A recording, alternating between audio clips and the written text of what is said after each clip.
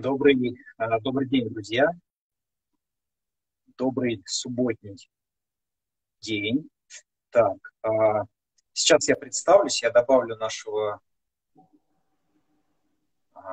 второго нашего спикера. Не знаю, какое слово. Выровняю камеру. Отлично. А, Елена, хорошо ли меня слышно? Так, здравствуйте. Я вас хорошо вижу и слышу. Как вы меня? А, тоже, только звук немножко тихий, но я надеюсь, что только в моем случае. Вот. Так, сейчас Нет, посмотрим. Ага, так. все в порядке. Ага, так, на, нормально, да, слышно? Да. да. Ага, ну, тогда да, тогда я не буду никуда переключаться. Так, mm-hmm. и вообще нажимать на экран не буду, а тут что-нибудь случится. Хорошо. Тогда еще раз э, давайте, Елена, с вами вместе поприветствуем наших коллег и кратко расскажем о себе. Я тогда представлю себя, а себя, я думаю, что Хорошо. Ну, тогда, наверное, с вас начнем, как э, с инициатора эфира, а я уже потом немножко себе. Хорошо. А, добрый день, коллеги. Меня зовут Алексей Иванов. Я руководитель секции коучинг в Ассоциации поведенческой терапии. А, в этом году у нас а, упорядочиваются разные направления дополнительно, собственно, поведенческой терапии. И вот эти направления в рамках ассоциации называться, уже называются секциями. И одна из секций, которая уже почти год, на самом деле, действует, но еще пока в таком а, потайном состоянии, мы сейчас входим в активную деятельность, это секция коучинга.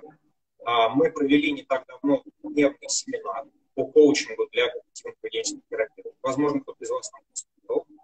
И довольно скоро мы запускаем базу по коучингу объемом больше 120 часов а, технологичный базовый курс по терапии. И в преддверии этого и в перспективе мы планируем это делать, будем проводить а, целый ряд вот таких эфиров в Инстаграм, отвечая на ваши вопросы, выбирая какие-то интересные темы, которые могут возникать. Итак, а, собственно, про себя очень коротко. Я, кроме того, что руководитель секции, я партнер в консалтинге компании Invest Leaders, и я себя отношу к стану бизнес-коучей и, если более узко выбирать executive коуч, я работаю а, с руководителями, топ-руководителями,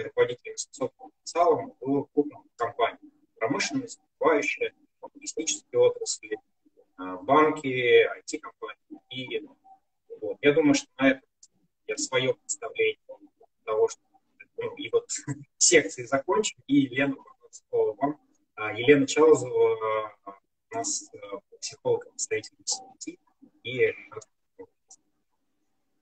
ну да, собственно, я психолог, да, Алексей уже все сказал. Я представляю а, КПТ-центр BCBT в Санкт-Петербурге. Э, ну, работаю здесь уже достаточно давно, наверное, сколько, собственно, и живу в Петербурге. А, также я преподаю э, в рамках курса техники и навыки в ассоциации. А, собственно, возможно, кто-то был на занятиях со мной и в этом контексте со мной знаком. Ну, собственно, да, и работаю я как психолог, я не являюсь э, коучем, а, хотя очень этот подход уважаю, и мы вот сейчас будем обсуждать что-то в этом аспекте с Алексеем, возможно, даже спорить. Да, у нас сегодня такой формат открытого разговора, друзья, поэтому те, кто нас сейчас смотрит, пожалуйста, пишите в комментарии, если у вас возникают вопросы по ходу дела. У меня такой сетап, что мне, к сожалению, будет не очень удобно смотреть именно в а, комментарии, но Елена будет у нас. Э, да, мне удобно, я, конечно, среагирую, да. Да, и озвучивать, возможно, какие-то из вопросов или реагировать на них. В общем, а, давайте попробуем сделать такое достаточно живое общение. Общая тема нашей сегодняшней встречи, о которой мне хотелось начать вообще разговор, да, а, сразу оговорюсь, что наша на сегодня такая целевая аудитория, если говорить, да, это в основном действующие или обучающиеся психологи и терапевты. кто слышал о коучинге, что-то знает о коучинге, может, уже практикует коучинг дополнительно к э, основной своей модальности. И вот этот вопрос, который не просто очень часто возникает, еще и является таким, знаете, камнем преткновения довольно большим и нередко предметом а, полурелигиозных даже споров, а, ну или, по крайней мере, вопросов, а, как для коллег из стана терапевтов и психологов-консультантов, причем совершенно разных направлений, психодинамического и штального подхода, и, с другой стороны, коучи, очень разных направлений, да, очень много на тему слова копий. Тема такая, вот терапия и коучинг. Как сочетать две модальности, где вообще проходит какая-то граница или переход между этими модальностями, а, даже где-то, что это вообще такое, потому что определение очень много раз, коснемся. А, в общем, поговорить о том, как терапия переходит в коучинг, где это происходит, и что нам всем с этим. Вот, пожалуй, я так начну этот вопрос. И, Елена, предлагаю сразу вам бросить мяч. Вот вы действующий психолог, да, терапевт. Какие у вас возникают основные даже не то, что проблемы, вопросы, скорее какие-то зоны интереса в коучинге. И как я, как представитель коучингового стана, а, могу помочь, на что мы можем с вами начать обращаться. Угу. Ну, для меня точка приложения коучинга ну, в своей работе, да, когда мы от каких-то э, проблем, связанных с психикой, с психическими процессами, а, переходим а, с клиентом к каким-то его целям, ну, конкретным жизненным целям.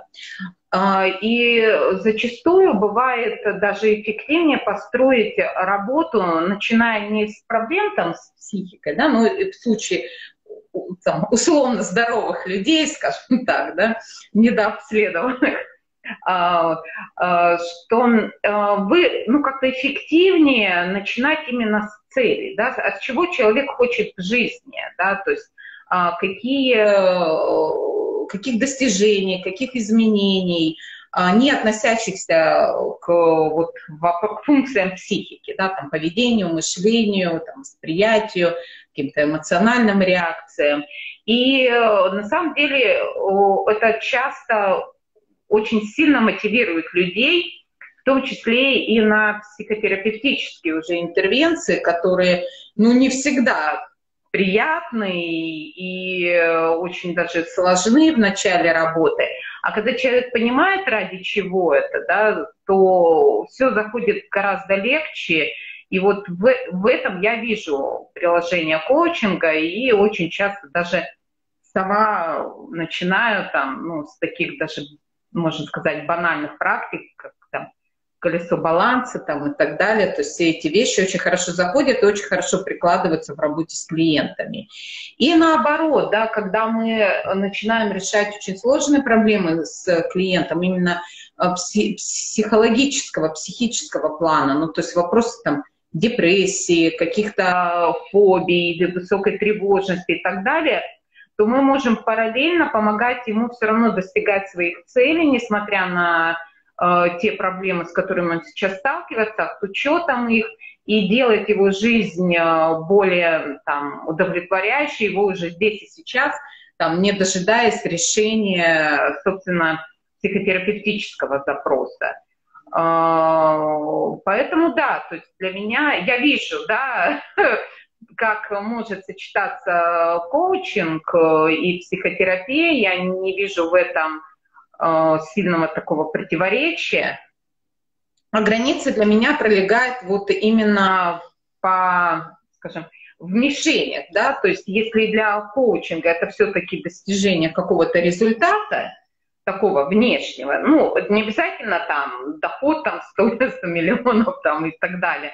Это может быть э, какие-то достижения профессиональные, да, там, ну, там, я не знаю, начиная от выигрывания каких-то конкурсов, за, за, э, заканчивая там, не знаю, э, работой с собственным там персоналом, собственным бизнесом и так далее.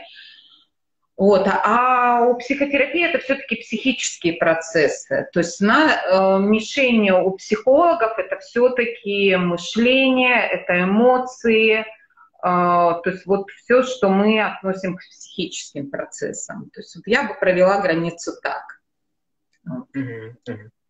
Да, Елена, э, так действительно границу проводят некоторые люди. Здесь э, мне тут хочется, э, наверное, вот с чего начать. И ну, может быть, даже не начать, а тоже откликнуться в плане добавления контекста. А не так давно коллеги, я вот сейчас попробую быстро найти ссылку. Да, это Татьяна Башкирова и, э, по-моему, Сара Бейкер, если я не ошибаюсь. А, это исследователи Оксфорда, а, коуч тоже. Они в одной из статей рассматривали вопрос границы между терапией и коучем.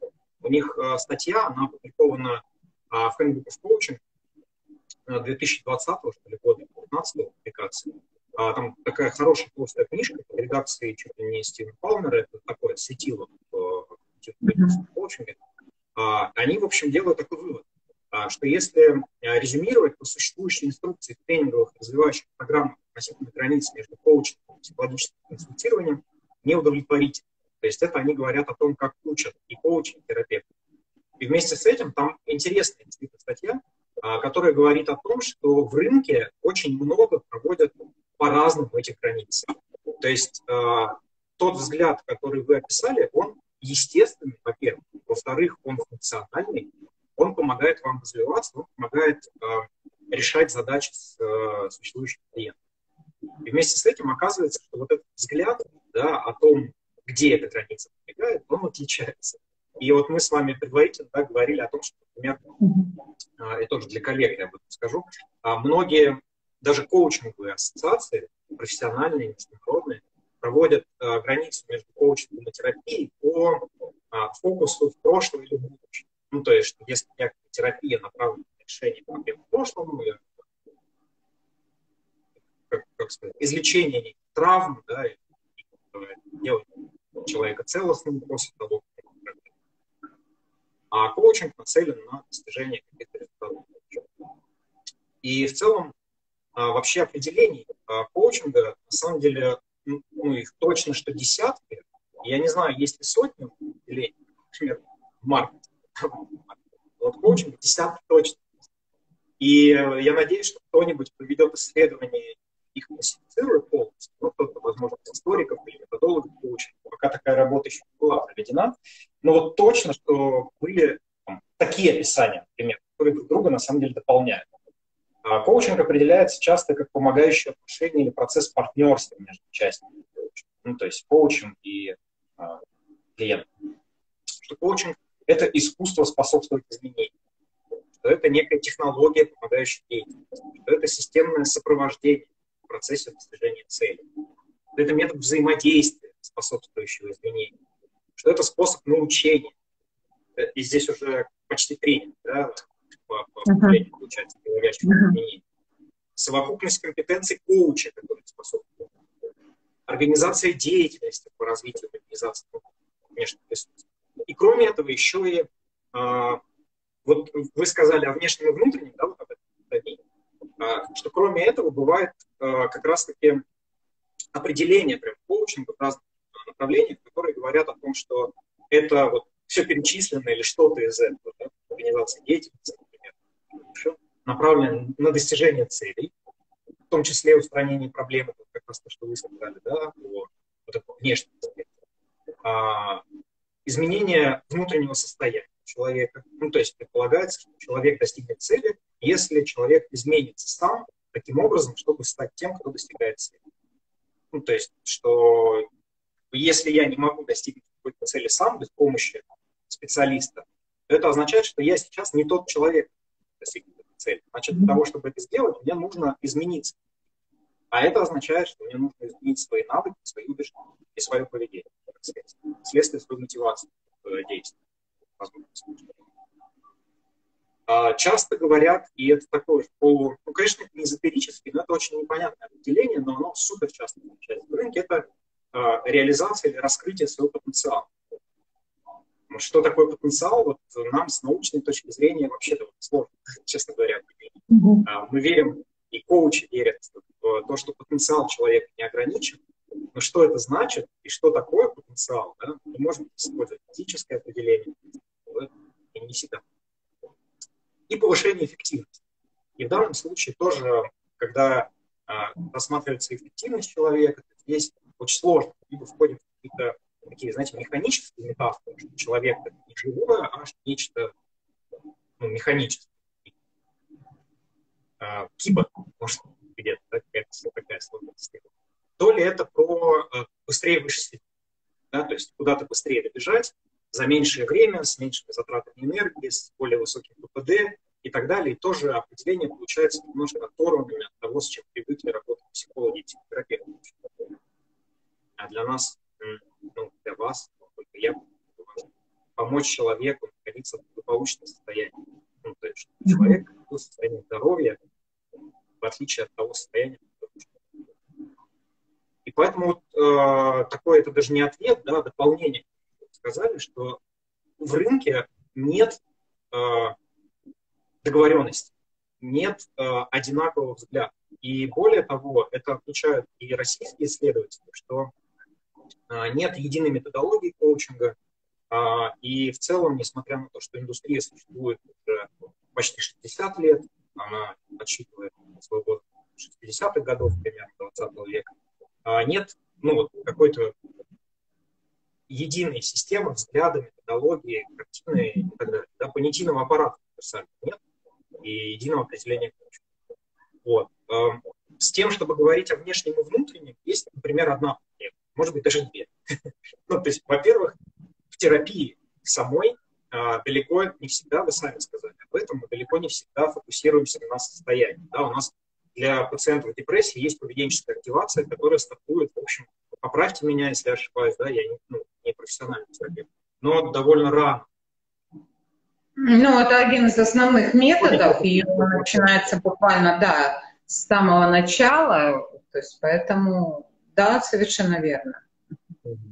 Вот. А, и наоборот, да, то есть кроме того, что мы помогаем, поведенческая активация – это ну, достижение цели, чтобы человек физически выполнил некие действия, а, именно поведенческие. Да? А с другой стороны, а, ну, я уже не говорю про поведенческий эксперимент, да? это в чистом виде достижения цели, проект гипотез или какая-то реализация. И наоборот, есть целая ну, это, наверное, половина коучинга. В целом сейчас современные исследователи, тот же Уинди Драйден, который у нас э, выступал в ассоциации с темой терапии в одну сессию, да, он тоже да, достаточно известный. Исследователи практики и терапии, коучинга а, подразделяют коучинг на два типа. И э, вслед за ним это делают очень большое. Я не уверен, что на разделение. Это коучинг, ориентированный на цель, то есть э, ну, достижение некой цели, либо на некое целевое изменение состояния, то есть чтобы прийти в некое целевое состояние. Да, которое... Либо второй тип коучинга, который прям многие исследователи выделяют, это коучинг, нацеленный на решение проблем. И это еще вопрос, оправдано ли такое разделение с психологической точки зрения, пока мы как бы, еще с этим вопросом разбираемся. Тем не менее, на практике это разделение существует. Не разделение, а как сказать, классификация. И э, вот этот э, проблем driven coaching, да, коучинг, который нацелен на решение проблем, это очень часто коучинг, который нацелен на решение эмоциональных проблем. И тоже возникает вопрос. Так, стоп, подождите, как так? Э, решением эмоциональных проблем занимается Но есть целый ряд конкретных факторов, которые, э, которые Драйвен предлагает как границы терапии, консультирования, ну, терапии коучинга. Да? А с консультированием чуть сложнее. Он говорит о том, что давайте мы будем э, коучинговыми методами работать с теми эмоциональными проблемами, которые э, соответствуют ряду призм. Они возникли недавно. А, там не выше легкого степени стресса, который они вызывают они возникают в одной зоне жизни. Ну, то есть либо только на работе, либо только в семье, либо только с друзьями, но не так, что это эмоциональная проблема для какого-то конкретного типа ситуации, открывающая большое количество обстоятельств. А, Ну и там, возможно, это какой-то один или там, небольшое количество типов ситуаций, в которых проблемы Тогда с этим можно работать коучем. Если это несколько жизненных сфер, если это достаточно старая проблема, если это средний или высокий уровень стресса, а, если а, клиент не готов сам к изменениям, там тоже важно, то мы тогда это скорее значит, пред, пред, пред, предположим, что для этого требуется технологическая модальность. я не говорю, что это истина, да? то есть речь не о том, верно это или нет, а сколько о том, что а, оказывается то описание, которое вы предложили, оно несколько описывает часть практики сложившейся. И более того, что самое интересное, вот это мне прям очень нравится с конца 2020 года. Я об этом не знал ранее, об этом знали и люди, кто более глубоко в теме. А появление а, «Я теряюсь», слышно меня? Так, да, там какой-то вопрос был, да, я слушала вас, а девушка вот и Ириша, да, написала, вы уже ответили на этот вопрос, э, вот на какой вопрос непонятно. Ириша, если вы слушаете, можете еще раз написать ваш вопрос, э, мы еще, может быть, вам дополним его. Будьте добры, пожалуйста. Да, спасибо. А, окей, да, я просто... Интересно. Да, да. У меня просто не, не, не всегда сеть нормально работает, я поэтому очень надеюсь, что uh-huh, uh-huh. да, я, я, я, да, да. Закончу мысль, что, mm-hmm. прошу прощения, Елена, вот я там просто чуть оторвался. Последний, последний момент, который я хотел добавить. Да, да, да, да, конечно. Ваша реакция А, собственно, когнитивная терапия, ориентированная на восстановление.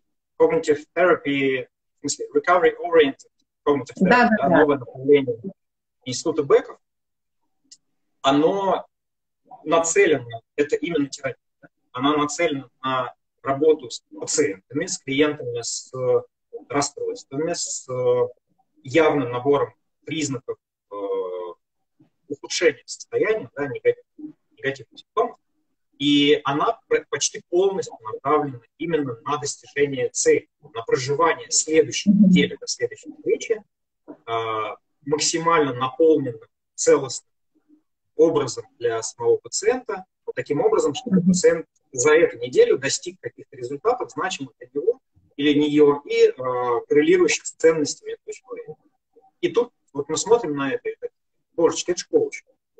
Я уже не говорю про то, что коучинг в э, модальностях э, ACT, например, или mindfulness-based, э, или э, краткосрочная терапия, э, принятие ответственности или ориентированная на результат краткосрочная терапия, они сами по себе тоже до степени смешения иногда похожи на некоторые из коучинговых модальностей.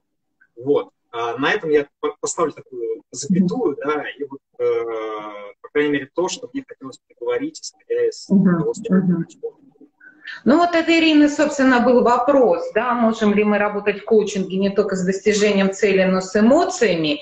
И, собственно, вы уже на него ответили. Я, на самом деле, тоже согласна, что можно, потому что все зависит от глубины проблемы, да, как, как если опять же обратиться к Драйдену, и не все проблемы там, ну, как, как да, еще принцип Акама, да, не плоди сущности лишних, не нужно делать лишнюю работу. Это, ну, я не знаю, когда готовилась к эфиру, я вспомнила метафору, она вообще относится к чему-то к другому, но суть в том, что если нам нужно, например, там, не знаю, что-то сделать с изображением, да, ну, с файлом, там, отретушировать, отредактировать, мы не начинаем со смены железа, да, там, мы сначала смотрим на свои навыки, мы смотрим, какая программа есть, решает ли она этот вопрос, нужна ли новая программа, если нужна, то вот тогда уже э, возникают вопросы э, там, к ноутбуку, потянет он это или не потянет.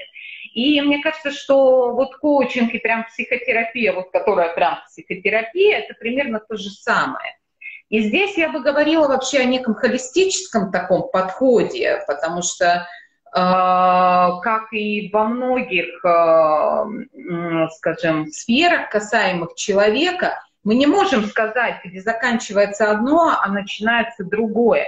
Это все переплетается, влияет на друг друга, и и, конечно, в идеале, да, хорошо, да, знать и те подходы и, главное, логику и идеологию там, коучинга, э, логику там, и, и идеологию, парадигму да, того и другого, там, психотерапии и коучинга, чтобы иметь возможность сочетать, допустим, в своей работе или видеть вот моменты, да, когда вот клиента, да, там, допустим, психотерапевтического, да, что вот все, вот здесь вот нужен второй там, специалист, коуч, который поможет человеку реализовываться вот прямо сейчас, несмотря на то, что у него есть еще депрессия, там, не знаю, какая-то тревога, ОКР там, и, или еще что-нибудь.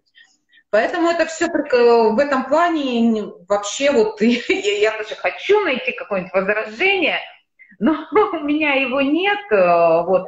Э, и действительно какие-то поведенческие вещи, они, скажем так, э, используются в психотерапии, да, та же поведенческая активация, но она, да, вот в чем разница, да, вот поведенческая активация, она направлена не на то, чтобы человек достиг каких-то своих целей, там, не знаю, вымыл посуду, там, помыл, там, не знаю, волосы, помыл, оделся, вышел из дома, а, вот, а на то, что, то есть, конечная эта цель все равно изменение психических процессов, чтобы вот он просто начал что-то делать и вот запустить вот это вот. То есть он начал выходить из состояния вот этой безнадежности, там, никчемности, там, бесполезности, без, там, и так далее. То есть вот разница вот на самом деле такая. То есть если бы э, поведенческую активацию бы я, например, использовала бы э, как коучинг, коучингового подхода, ну, например, я бы спросила, да, вот, а каких целей вы хотите там достичь, да, и что для этого нужно сделать, что вы готовы сделать, что мы делаем прямо сейчас, там, завтра, там, и так далее. То есть и все равно логика была бы достижения какой-то цели. Вот все-таки разница это есть, и э, мне кажется, ее все-таки стоит придерживаться. Но где четкая граница, да, что шаг влево, шаг вправо это разные подходы, но такого, конечно, нет. И я думаю, что цели проводить ее ну, не нужно ставить. То есть, э, мне кажется, такая тщательная классификация, она избыточна. Она как бы превращает нас в два лагеря. Ну, это же ерунда полная. Вот. Да, я, я с этим соглашусь, Елена, и я тоже к холистическому подходу а, сейчас перейду, но я перед тем, как к нему перейти, хочу еще немного эту границу размыть. Вот вы сказали про поведенческую активацию, да, например, а, ну и что это средство для достижения основной задачи, да, терапевтического для ну, достижения терапевтического состояния. То есть вот, ну так вот, если... Да, да, да. Да. да. да. А, но при этом, а, смотрите, мы же, когда делаем поведенческую активацию, мы все равно опираемся на а, те действия, которые имеют для нашего пациента некую внутреннюю ценность, собственно. Я имею в виду, что ну, если человек, например, всю жизнь не чистил зубы, то если терапевт ему скажет, вы там чистите зубы, это не будет работающим инструментом поведенческой активации. То есть это все равно нечто, что является для самого человека в его памяти о, о прошлом, когда человек был в нормальном состоянии, да, это является некой значимой человека а, поведенческой ну, моделью, значимым действием. И э, в коучинге происходит ровно то же самое. Мы же не предлагаем человеку достигать цели, которые человек не хочет. Мы спрашиваем, чего он хочет. И здесь да. шаг э, не пропускается. Поэтому здесь а, я, опять же, это не в плане, не в пику вам, да, и не в спор. Это как раз наоборот, я для перехода к вот этой холистической модели для того, чтобы разобраться, как она работает. Потому что здесь мы а, как бы смотрим сейчас, да, давайте и наши зрители, и мы с вами а, посмотрим на эту ситуацию с метакогнитивной точки зрения. То есть что мы с вами сейчас а, все вместе делаем? Мы смотрим на ту картину мира, которая вот у меня, как у отдельного специалиста, есть. И она вроде как ну, более-менее не мотивирующая. И у меня есть внутренние ощущения, которые позволяют мне для себя самой понять, что вот, ну, это вот примерно про терапию, а вот это примерно про коучинг. И довольно часто эти внутренние ощущения, они основаны на личной практике, на каких-то словах, которые нам говорили наши преподаватели, люди, которые для нас являются значимыми. А, и очень часто у нас нет такого тонкого ощущения, да, ну, конкретных определений. а, из серии коучинг и терапия это вообще что? Да? То есть мы говорили о том, что даже в рынке практики нет да, единого. То есть то ли это а, область деятельности, то ли это конкретный набор методик, то ли это mindset и взгляд вообще на то, каким образом можно помогать людям. Что это такое? Система. Да? Вот мы сейчас смотрим на себя и на самом деле не до конца это понимаем. А с другой стороны, я предлагаю каждому из наших зрителей тоже это проделать. Не прямо сейчас, а может быть чуть позже. А если у вас нет четких, четкого понимания, что это такое, а есть вот ну, такое представление, то когда мы начинаем всматриваться в эту границу, по-настоящему, честно, мы видим, что она размывается. То есть вот сейчас даже, да, есть такое внутреннее ощущение, что, ну вот все-таки поведенческая активация, это вроде как больше про, про терапевтическое, а вот там коучинг, это все-таки что-то про означенные цели. Если мы всматриваемся это, все равно видим, что эта вещь ну, размывается. И поведенческая активация вроде как согласована с некими внутренними потребностями и целями клиента. А с другой стороны, достижение цели клиента все равно связано с изменением психического состояния, а, когницией, с э, какой-то какой-то проработкой своих убеждений, не обязательно терапевтической духе, но все равно работа с этим. И здесь я хочу еще рассказать про, одну про один такой момент, который для нас, как для э, людей вот в секции коучинга, да, и вообще почему мы стали управление активно развивать здесь, на русскоязычном рынке, э, одна из проблем, которая в рынке прям видна и заметна. Э, она связана с тем, что э, терапевты работают ну, пассово, да, скажем так, ну, по определению, что ли, по практике изначально с людьми с некими расстройствами, с некой симптоматикой негативной, которая имеет свои описания, да, конкретные, конкретные диагностические критерии, нозологии, часто даже понимаем, как развиваются те или иные нарушения. То есть вот, мы работаем в терапии с нарушением. Но практика, она гораздо шире вот такой жесткой классификации часто бывает, приходит клиент, который ну, не супер там, разболтанный, но хочет помощи, да, не, не крайне степени нарушений. Иногда бывает, что мы эффективно работаем с клиентом. Эффективно-поведенческая терапия позволяет. И клиент заканчивает работу с вами, у него он выходит нормально, да, в адаптивное состояние, но клиент понял для себя ценность вообще вот этих отношений и вот такой совместный подход клиент хотел бы дальше продолжать делать это, да, ну, и достигать своих целей. Потому что у клиента нет вот этого внутреннего ощущения разницы целями и не целями, состояниями, не состояниями. Сам клиент целостный, он видит, что эта работа. И он видит, что эта работа может быть дальше. И получается, что терапевты с этим сталкиваются постоянно. То есть то клиенты приходят, не очень больные, а так чуть-чуть, кавычки, конечно, то а, клиент выздоровел, но клиент хочет с этим работать. И, кроме того, терапевт видит, что, ого, ничего себе, здесь целый созревает огромный рынок сбоку, да? что есть какие-то люди, которые считают, что психологи все а, там, эти, будут ковыряться у меня в глубине, в мякотке в моей, я этого не очень хочу, но вижу, что вот у меня коллеги, там, коуч помог, реально помог, и там в чем-то его состояние. Я тоже этого хочу. И там формируется целый рынок каких-то непонятных людей, которые опираются на непонятные принципы, могут человека еще случайно ввести в какое-то негативное состояние, да, случайно копнув туда, ну, то есть не, не, не понимая, как устроена психика человека. И, в общем, как так? Мы здесь, психотерапевты, классно разбираемся, как человек устроен и как человеку помочь с собой сделать. А там какие-то люди занимаются ничем. А еще и а, без, без образования и без э, ну, какой-то упорядоченности самого поля. Да? что происходит в результате? Терапевты начинают изучать коучинг. Они посещают курсы коучинговые, да, в той, или иной школе, в подходе, и начинают работать а, коучинговой модальности. То, что они считают коучинговой модальностью. И сплошь и рядом. Я, поверьте, сталкиваюсь с этим постоянно в отзывах HR-директоров компаний, которые приходят в коучи работать с клиентом. А, друзья, к сожалению, ну вот это по моему опыту и тому, что я слышу от HR-директоров, но уже сегодня накопилось достаточно широкое понимание, а, нет, не понимание, прошу прощения, предубеждение да, как бы такой как, штамп, да, что если коуч переучен с терапевта, то он, придя в коучинг, будет делать терапию. То есть э, какой-нибудь руководитель, там, топ-менеджер придет к коучу решать какую-нибудь задачу, связанную с управлением командой, или даже с какими-то своими поведенческими, эмоциональными Такое в топ-менеджменте тоже сплошь и рядом случается. И терапевт начнет обсуждать с ним а, маму, детство, негативные глубинные убеждения, там, э, все что угодно, вместо того, чтобы помочь человеку решить конкретную задачу. В том, что сам этот клиент в состоянии расстройства не находится. И это вызывает у клиента удовлетворенность. Потому что клиент шел к коучу.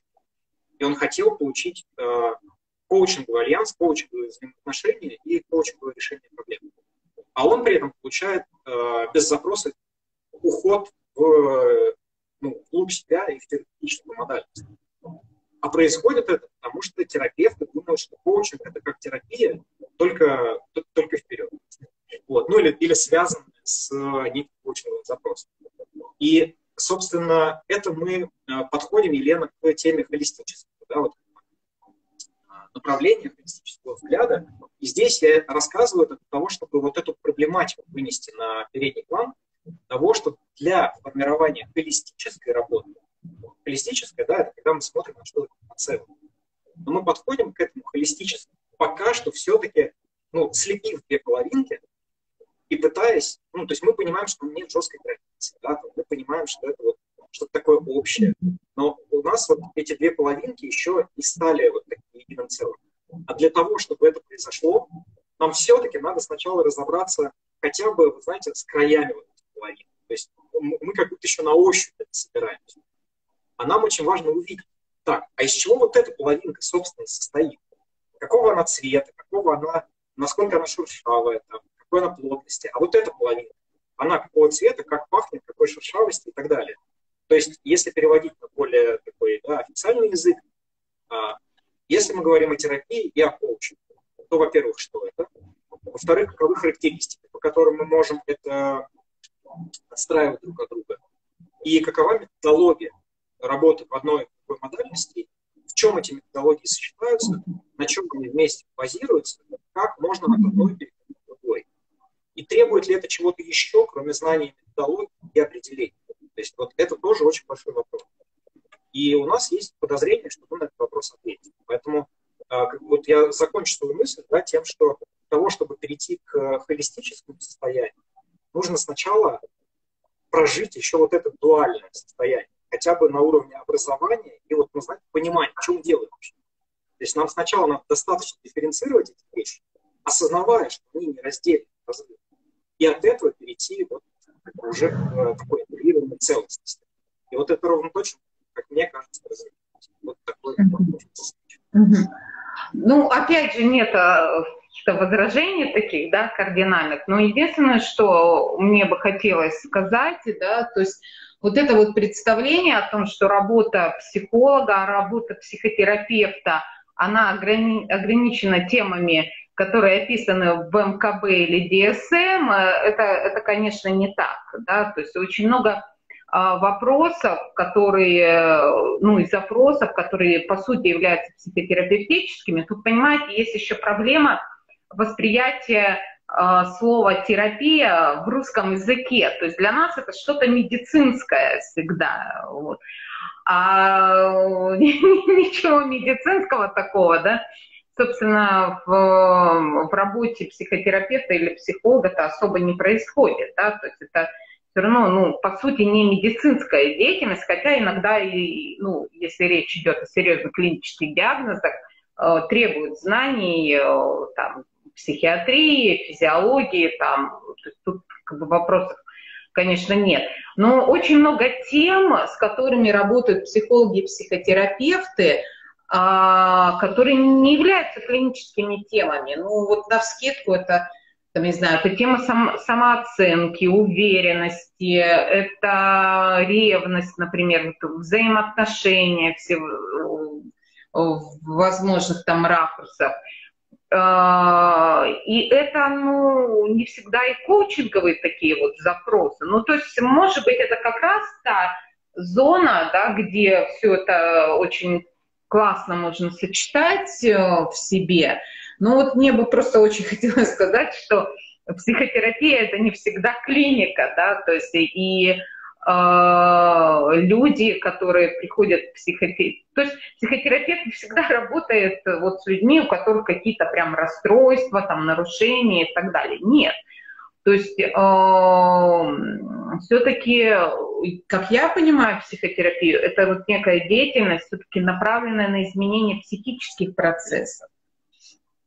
А, поэтому, ну, ну, поэтому да, и для меня вот работа с коучингом, да, вот в плане, например, эмоций, в плане мышления, э, это тоже, собственно, элементы психотерапии, ну, может быть, они как-то когда речь идет о достижении какой-то конкретной цели и решении какой-то конкретной задачи, которую, допустим, ставит э, руководитель, Э, ну, не требует там копания да, до глубинных убеждений, но если мы берем там э, КПТ, да, мы тут все подразумевается, что мы все тут КПТ, психологи, КПТ, коучи и так далее, и имеет смысл обсуждать именно эту парадигму.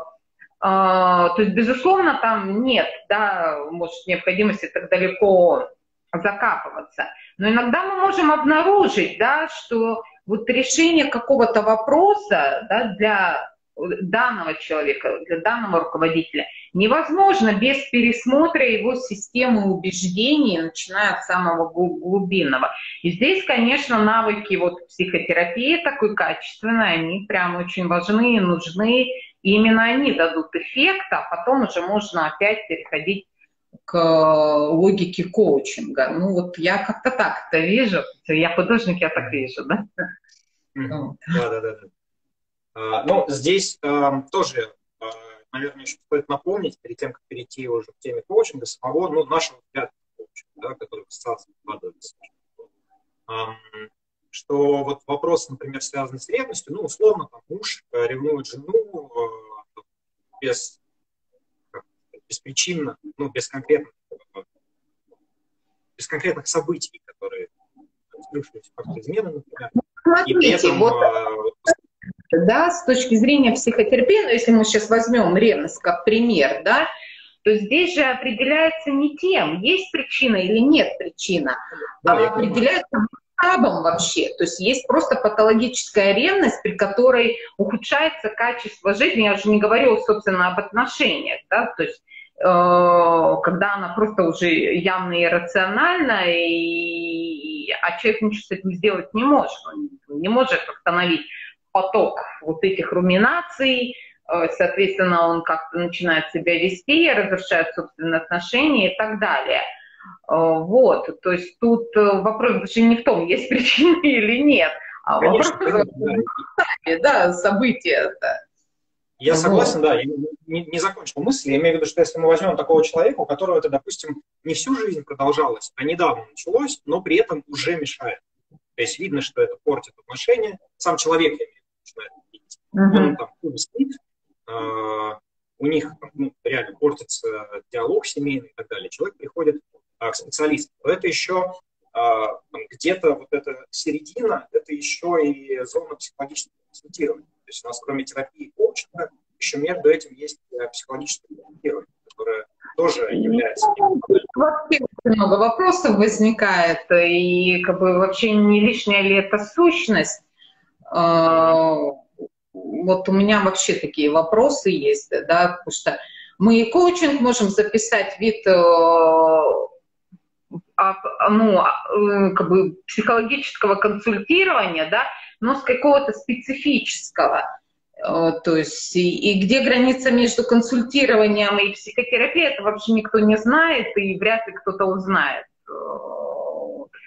Поэтому интересно как раз вот граница между коучингом и психотерапией. Вот для меня вот это вот, э, как зона интереса.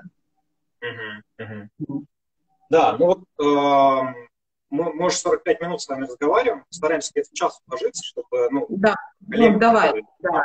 Ну, мы как лучше всего на какой-то такой ноте остановиться, чтобы пришли люди на следующий. Да, а, вот здесь я как раз хочу перейти к этому а, к этой теме как раз вот холистического взгляда, да, как мы предлагаем к этому взгляду приходить. Мы, собственно, предлагаем к нему приходить методологически как раз-таки сначала вот через эту дифференциацию, через поиск различий. Причем а, осознавая, что на практике вот такой, так, такой, такого жесткого различия не существует. То есть, как пример можно привести, вот представьте, что у нас есть какая-нибудь, не знаю, банка, да, и там а, смешан два вещества, но белое, другое черное. И они вот там как-то вот так вот пере, пере, перетекают друг друга, но не перемешиваются полностью. И мы, а, ну и здесь вот совсем белое, а здесь совсем черное. Нам для того, чтобы научиться это рефлексировать, осознавать и что-то делать, принимать какие-то решения, а, мы сначала говорим, так, давайте вот исследуем белое и исследуем черное. Самое-самое белое, которое есть, и самое-самое черное. А дальше мы будем учиться чувствовать, насколько вот в том месте, где мы сейчас находимся, насколько там много белого, насколько много черного. То есть смотреть на это не, не на как что-то вот такое непонятное, серое перемешанное, а изучить самое белое, самое черное, и дальше учиться на уровне внутренних ощущений, понимать свое место в этом. И вот к терапии и коучингу относиться похожие вещи, да, похожим способом. И сейчас я скажу, как мы определяем коучинг. Я рассказываю об этом на вебинарах, открыто, это тайна, поэтому я вот могу поделиться и в прямом эфире. И, и в обучении мы постоянно к этим определениям обращаемся. Здесь очень важно понимать, вот, почему я об этом рассказываю, да, что это определение мы осознаем, что оно не является проводящим жесткую границу, потому что это невозможно. Но оно нужно для того, чтобы белое и черное в этом всегда не поддерживают, да. Под коучингом мы понимаем вид коммуникативной деятельности, то есть взаимодействие двух или более что важно, а, в которой человек, в скобочках актор, актор – это наш клиент, пациент, я сейчас скажу, почему мы используем это слово.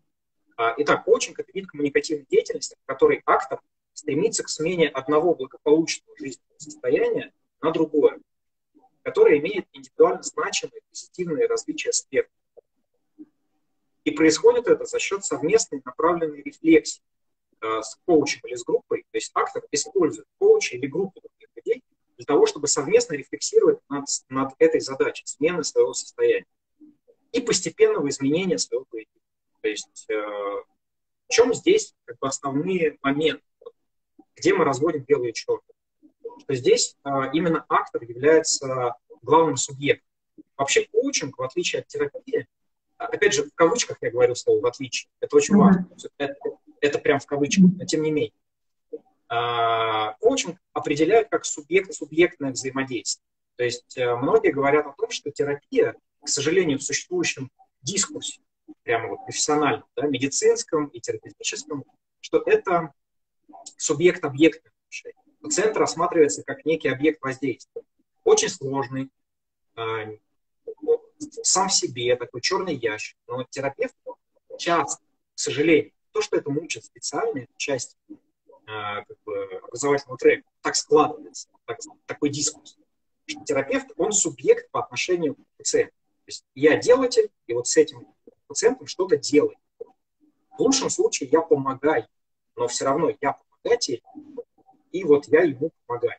Такой небольшой получается все равно самообман, да, что так, хорошо, я не врач, я не лекарь человеческих душ, я помогаю, но все равно я субъект, помогает объекту, который запросил. Uh-huh. А коучинг рассматривается, и это вообще с самого начала происходит, как субъект-субъектное взаимодействие.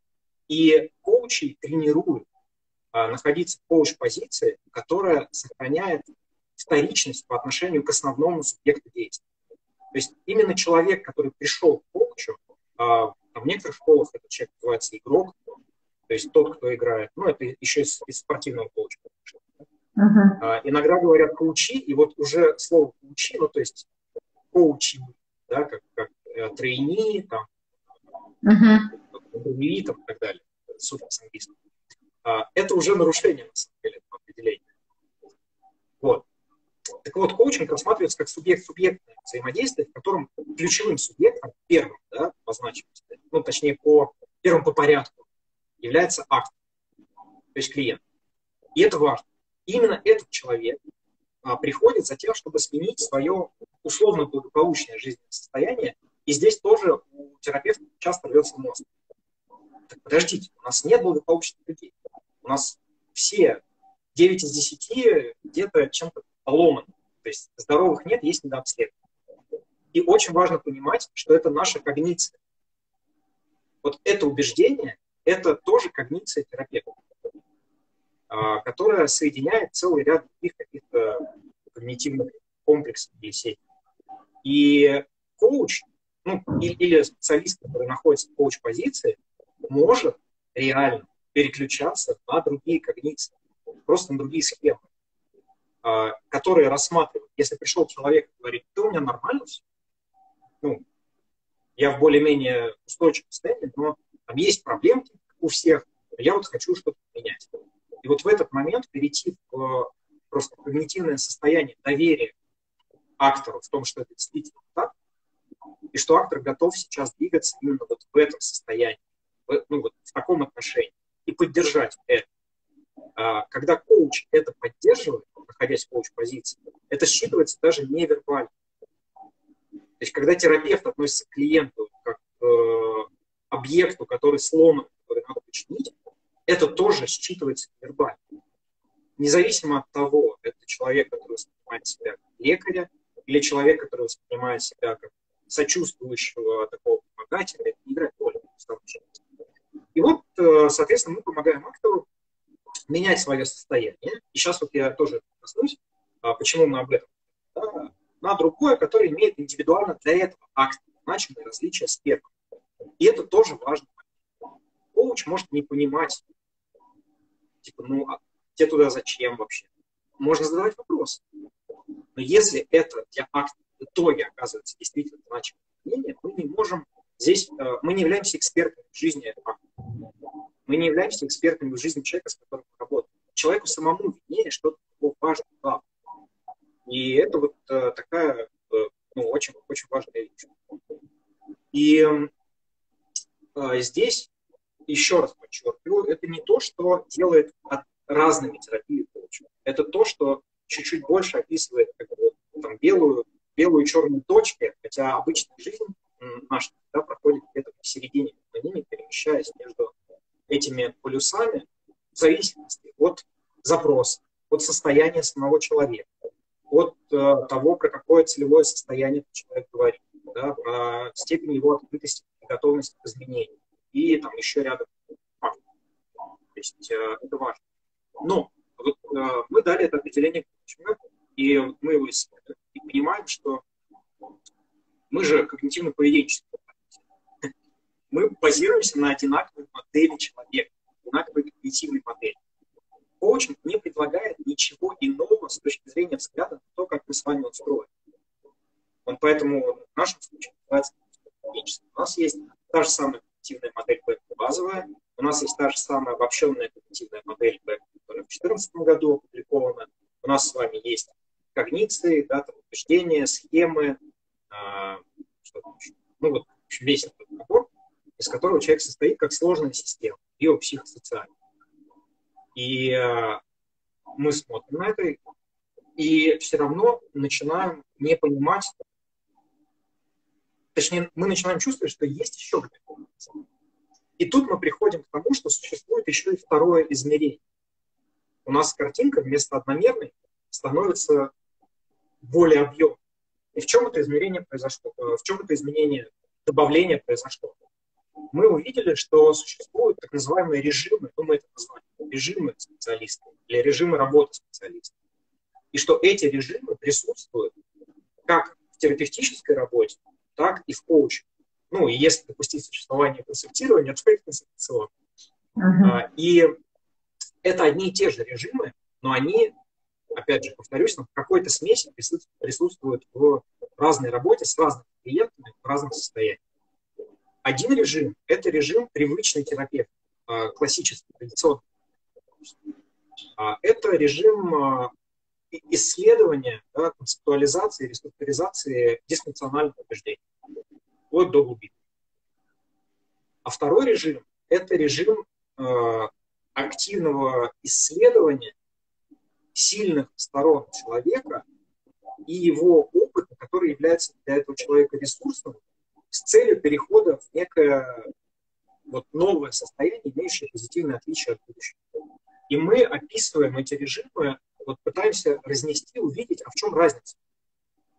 И мы видим, что, например, вот в этом режиме, опять же, понимая, что здесь точно такой же раз, э, вот, раз, растяжка такая же, да, спектральная, что нет жесткой границы между этим. Но если брать вот максимальный режим, э, который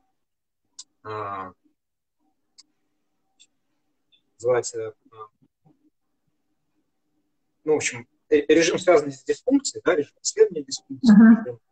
режим концептуализации дисфункции, это режим, который вот нацелен на вот поиск негативных, да, условно того, что тормозит человек, условно того, что мешает, и вокруг чего структурируется его а, дисфункциональный опыт. И этот режим очень часто связан с целой сетью когнитивных у самого специалиста.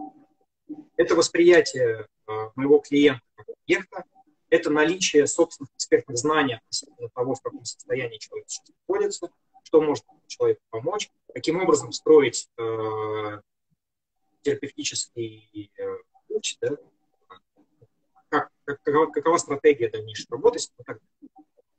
И там есть э, ряд, как, как во всех схемах, у этого режима, это режим, в смысле бэка, наш классический внимание.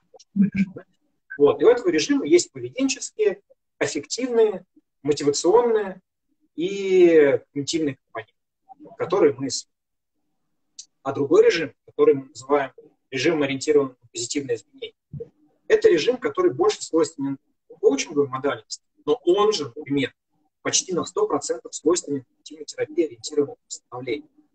И освоение этого режима, устойчивого нахождения очень сильно поможет терапевтам освоить эту новую модальность. Это режим, в котором мы на самом деле не знаем, чего человеку надо. Мы не знаем, мы не являемся экспертами человека.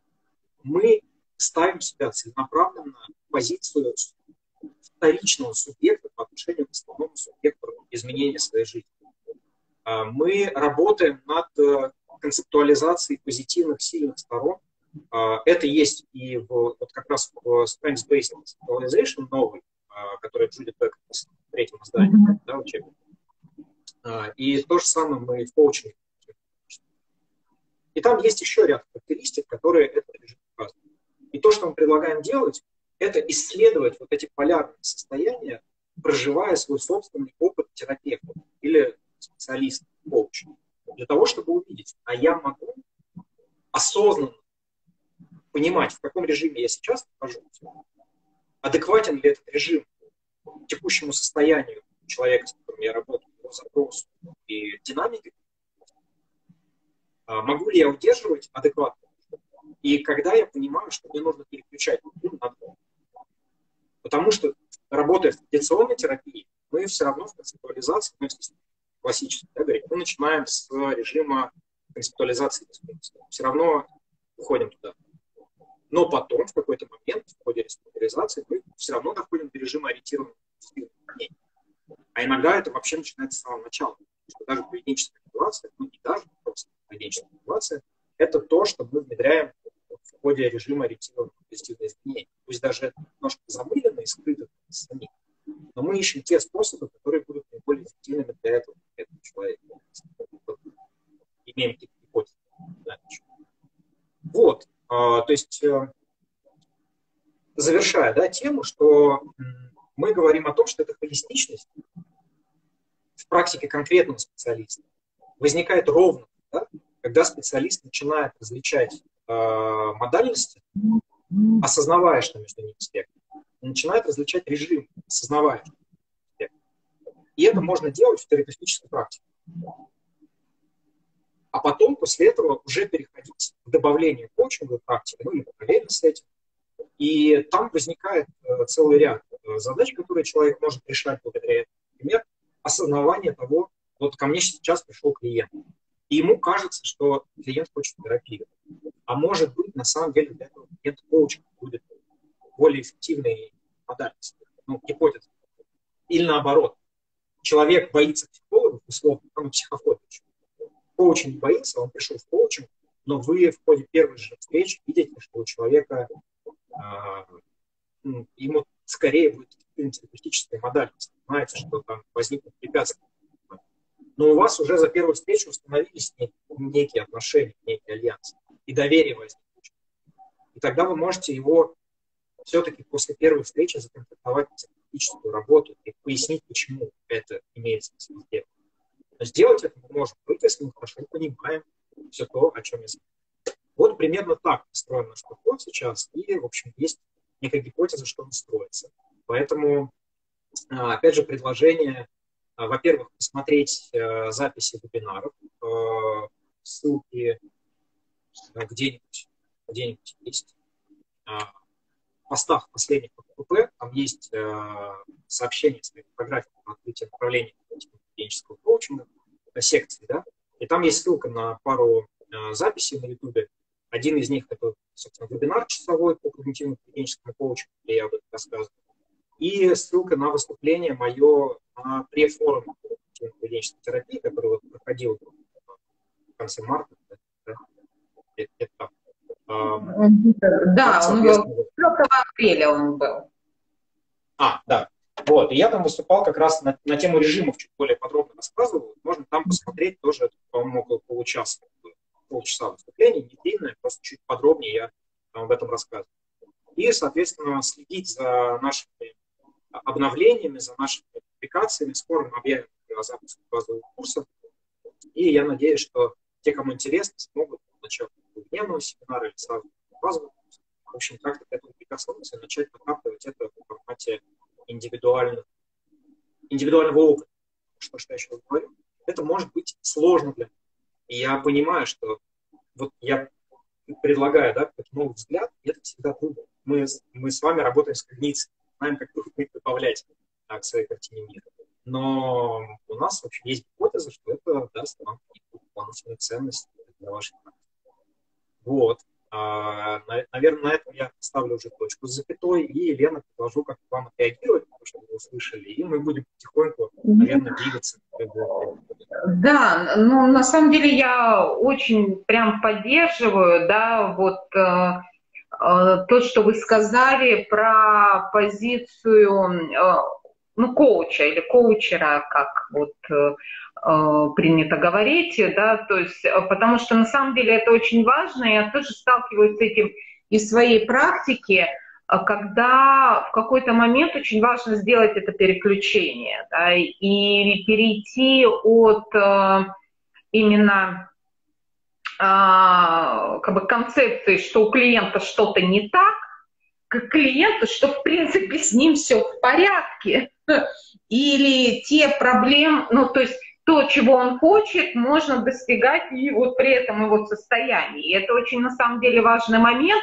И когда это происходит, то есть это дает огромный толчок, прям очень сильный, а, и в мотивации, и в позитивной динамике. Это очень важный момент э, вот для психолога, в какой-то момент оторваться от идеи, что с клиентом что-то не в порядке, и перейти к идее, что клиент вообще-то достаточно окей для того, чтобы чего-то делать.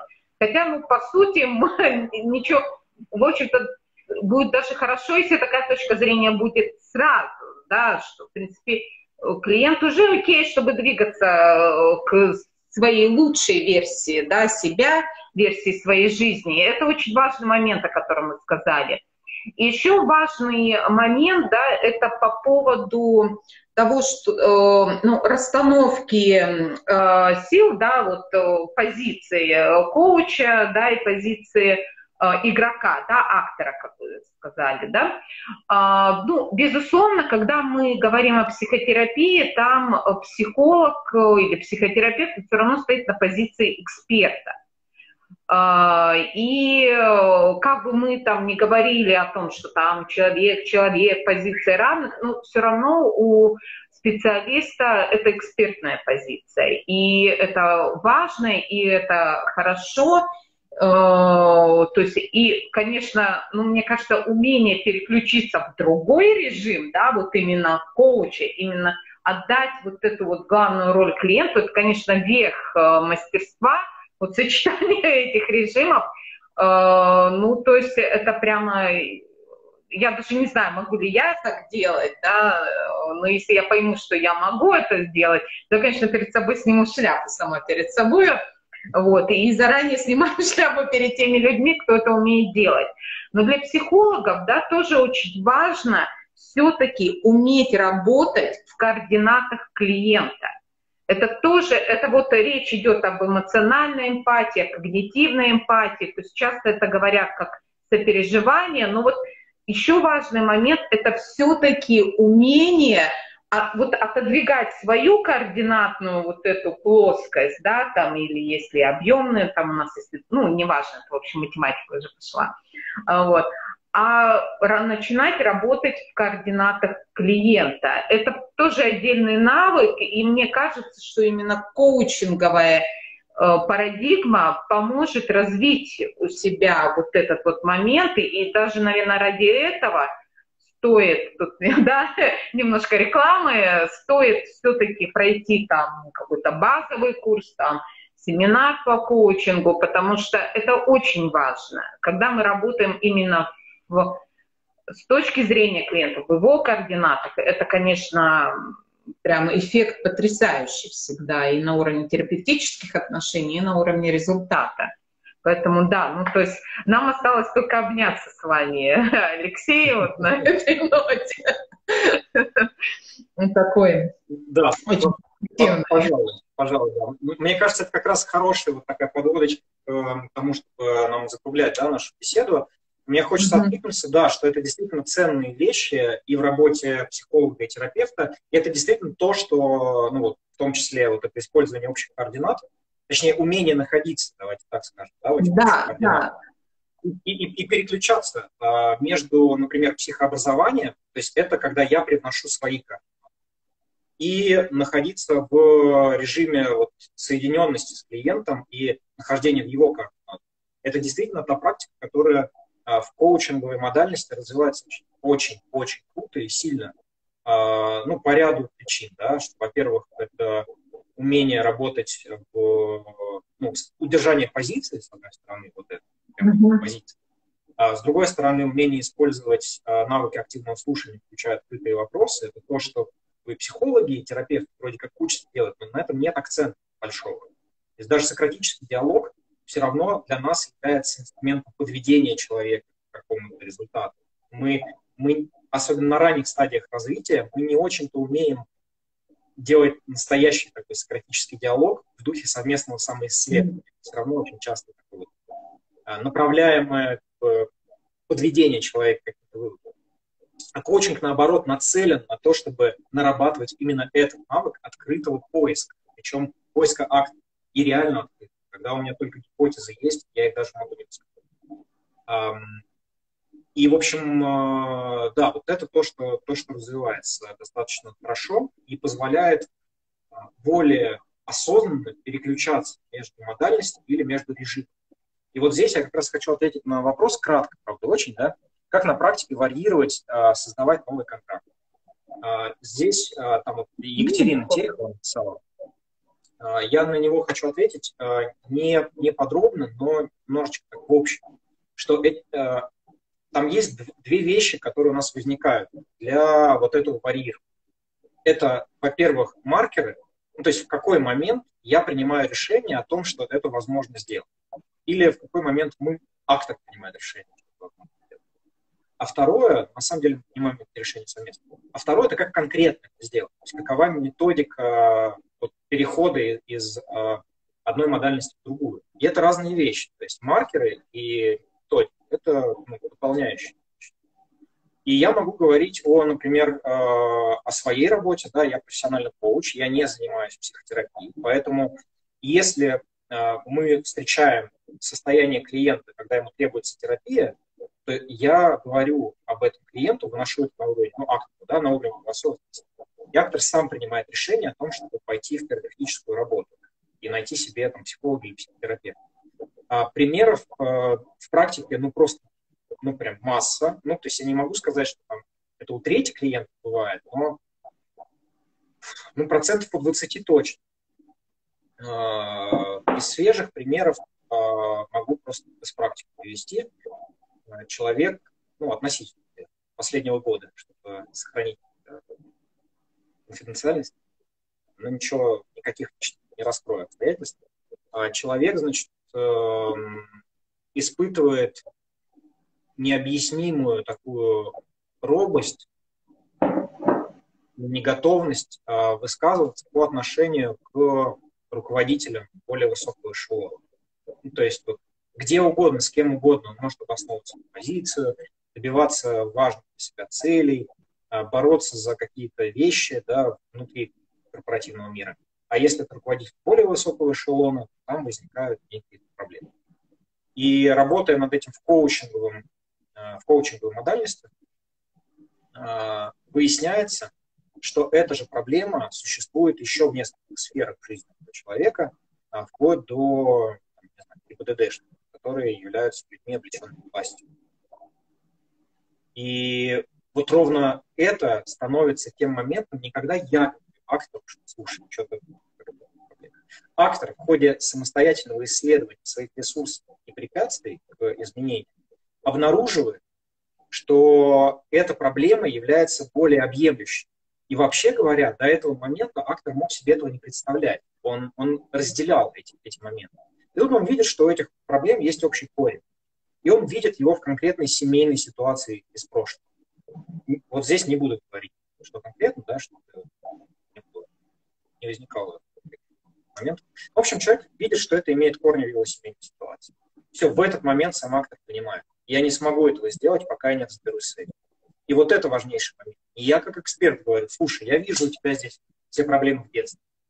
А, я способствую самоисследованию акторов, в котором, причем именно в контексте достижения результата, достижению целевого состояния, в котором автор приходит к пониманию, блин, у меня здесь вот такая штука, которая мне мешает, я могу только с психологом.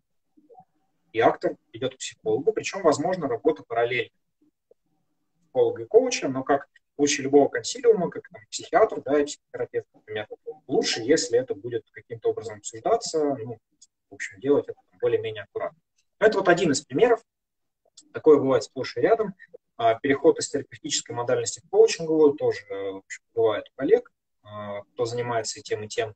И мы об этом обязательно будем говорить. То есть мы на базовом курсе будем говорить и о маркерах, а, которые в практике возникают, потому что на самом деле полноценной теории этого еще не существует. То есть у нас здесь впереди большое пространство для исследований, по части. И, и поговорим о тех методиках, которые работают, и почему они работают с точки зрения клинического подхода. Вот, так что все это у нас будет. Еще один да. вопрос да. Ага. Да. Нужна ли психотерапия коучинговой направленности? А, а, София, а, ну вот мы об этом говорили, да, возможно, вы были не целиком на эфире, мы обязательно его сохраним в записи, поэтому посмотрите, может быть, там будет ответ на ваш вопрос. Что, ну, конечно, нет, не обязательно, но мы говорим не о модальности, то есть не может быть модальности психотерапии. Психотерапия – это сама по себе модальность, и коучинг – это сама по себе модальность. Но есть еще два режима разных режим концептуализации дисфункции, режим ориентированный на позитивные изменения. И вот как в традиционной психотерапии, так и в э, когнитивной терапии, ориентированной на восстановление, да, в новой версии, а, присутствуют оба режима. И даже в традиционной когнитивной психотерапии режим, ориентированный на позитивные изменения, периодически не переключается. И как Елена только что сказала, осваивая коучинговую модальность, вы осваиваете а, не только навыки конкретно, но еще и осознанность по отношению к этим двум режимам. И вы можете гораздо более эффективно применять режим, ориентированный на позитивные изменения в модальности традиционной психотерапии. И это же поможет вам легче перейти к освоению модальности когнитивной терапии, ориентированной на восстановление.